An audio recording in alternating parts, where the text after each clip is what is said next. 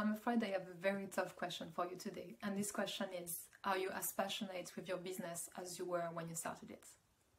This question got asked to me a couple of weeks ago as I was attending Business Mastery from Tony Robbins. And this question was really, really a tough one that I struggled to answer.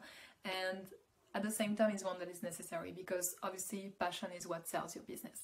When you show up passionate, when you show up enthusiastic about what you are doing, when you show up convinced, confident because you have this fire burning inside you and you're absolutely engaged in what you do, you can sell better. You can attract the right people better. You can show up better on social media, in your interactions, in your daily life, uh, in whatever you put out there in the world, whatever work you do as well with your clients.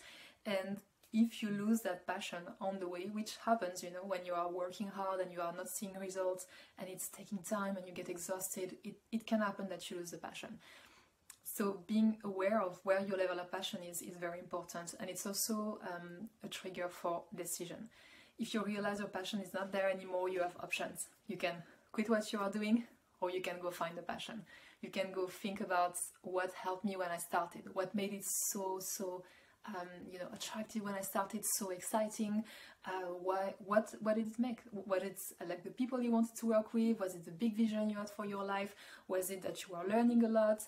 Uh, I don't know what made it exciting for you and what could help you bring this level of passion back because passion is something you can cultivate with the right action and the right mindset but it's important to think about it and if you think you know what i'm not able to bring this level of passion anymore I've lost this for what I'm doing exactly.